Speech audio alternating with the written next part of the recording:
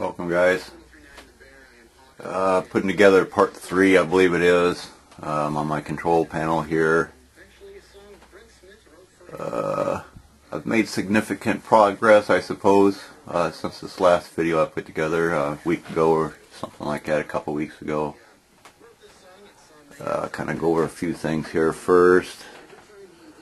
Um, I did make a support uh, for my wired keyboards. Uh, and as you can see, I just got my wired mouse here. Uh, just old ones I had laying around. Uh, didn't need to purchase nothing. Um, I had originally planned on going wireless because uh, I got wireless ones as well. Uh, but there is quite a bit of guys around, people around this neighborhood that have ham radios. Uh, every now and then they'll interfere with the radio channels. Um, used to, uh, were digital uh, TVs, of course, uh, when it was analog. Uh, there was a few times they'd come across the analog ones. Uh, so I decided to go wired so I don't have to worry about possibility of the wireless uh, get interfered while I'm making a part. That could be catastrophic. Uh, this will eliminate that then and everything will be done with the keyboards. And I'll actually have to press the button to make this move or that move or what have you uh, to jog any axis if necessary. Uh, but it's all supported really well. I got it all trimmed. you have to go on my site. I'm putting a group of pictures together as I was building that, kind of the steps I I took. I took a few shots. I do believe of each step that I did. Uh, we'll go up to the G540 or the control panel now. Um, it's closed right now. Uh, as you can see, I got my G540 now. Uh, this is the new version. Uh, it has a charge pump on the front. Uh, those not familiar with it, uh, the previous three versions had a charge pump switch uh, on the back side inside the cover uh, which was obviously very inconvenient. Uh, you would have to disconnect your whole system, pull the back cover off to kick the pump on, uh, reassemble it, put it back together. Uh, now they have it on the front, which it actually should have been on the front from the get-go, I believe, but uh, there may be other reasons that I'm not uh, aware of to why uh, it's on the front as compared to them being on the back other than easy access. Uh, as you can see I've got I built this uh, door for it. Uh, it's plexiglass 0.80 I think it is. thick, it's fairly thin, 8 inch or so, something like that. Um, what I do is I just got a little pin I stick up in that hole to hold that up. Um, I suppose I could do that now. A few things here. Inconvenient trying to hold that though too. There we go. Kind of back up here so you can see us just uh, drill the hole and an old screw through it just to hold that up. Nothing Nothing fancy there. Uh, everything is wired. I got all my accesses wired. Uh, my home switches are um, uh, now wired to pins 1, 2, and 3. I'm still awaiting the uh, power supply, uh, the e-stop, and parallel port cable. Uh, once I get that, I'll be installing that. I may put a quick group of videos together on that. Um, it's pretty straightforward. You can see where it's going to mount uh, and how that's hooked up. I may put a, together a short video though on that. Uh, then I'm actually going to be starting a whole new group of videos of configuration.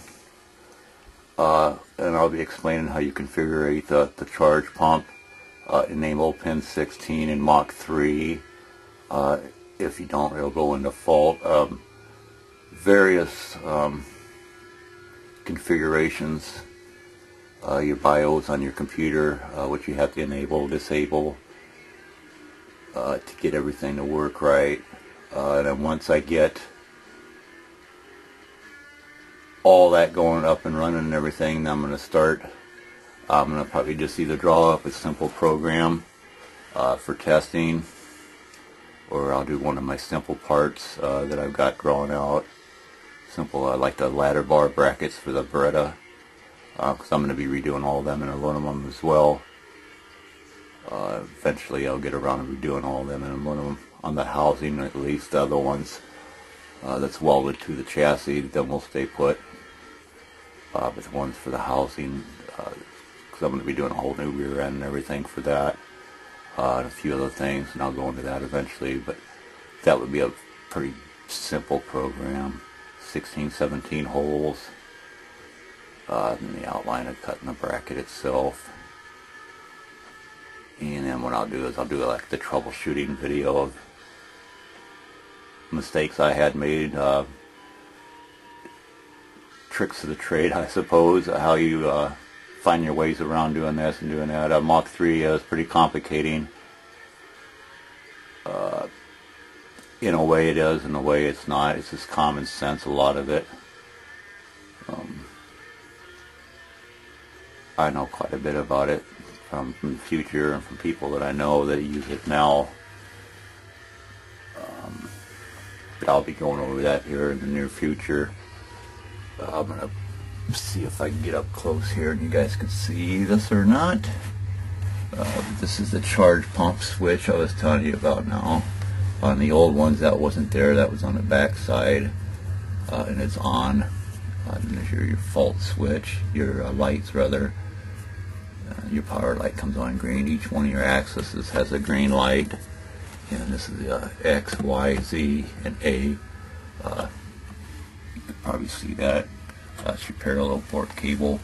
Uh, that's the actual only cable that runs in from your computer. Uh, there's no USB drive or nothing for this. It's just uh, all operated on a 25 pin port, parallel port cable. I do believe it's 25 pins. Uh, not sure on that right offhand, uh, but one powerful little unit there. Um, very nice uh, setup. It's got everything and anything on it. There's, like I said in one of the other videos before, it's pretty much plug and play. Uh, it does anything and everything. Uh, majority of everything is done through your actual controller, which in my case is Mach 3. Um, they're all sent back signals to this unit here is what it does. But I've got all my wires secured. Um, good to go there. As you can see, I got a little bit of slop up here so they can move freely. Uh, these don't come in contact with with the uh, plexiglass. Uh, I'm going to shut this up here real quick like and I want to turn these fans on so you can see um, it, it's actually very quiet